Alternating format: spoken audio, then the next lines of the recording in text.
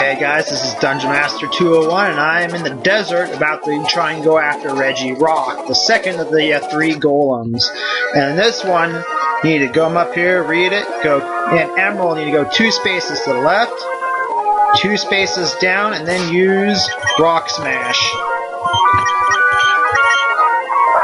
And the door will open.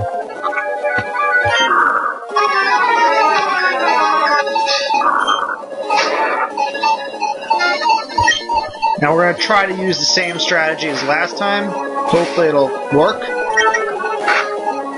And looks like he'll survive another Dragon Rage. Good. Now we're going to go ahead and attempt the uh, Ultra Ball capture.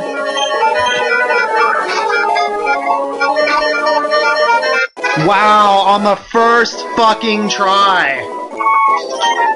That is amazing!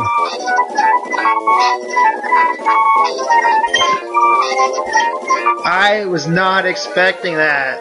Alright, uh, in the next one, I'm going to be trying to go after Regice.